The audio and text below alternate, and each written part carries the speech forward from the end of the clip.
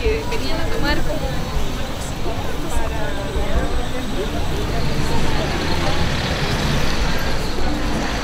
Muy buenos días.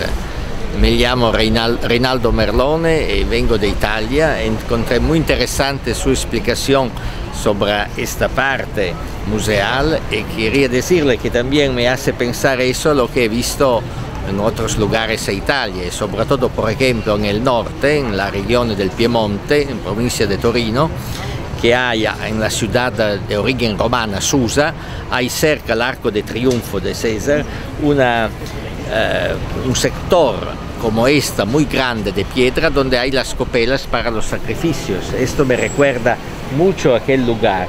Y entre una copela y la otra, se dice copela, ¿verdad?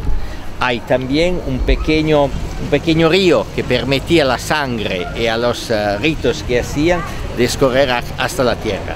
Digamos que casi la única diferencia podría ser el color de la piedra, que allá es gris porque es otra composición este es un muy rojo amarillo muy interesante, pero hay similitudes que unen ya los dos eh, continentes muchos antes que se encontraban con, eh, digamos, descubierta del nuevo mundo que ya estaba conocido, digamos, descubierta no es la palabra muy exacta. Esto es muy interesante ver, cosas parecidas en culturas diferentes.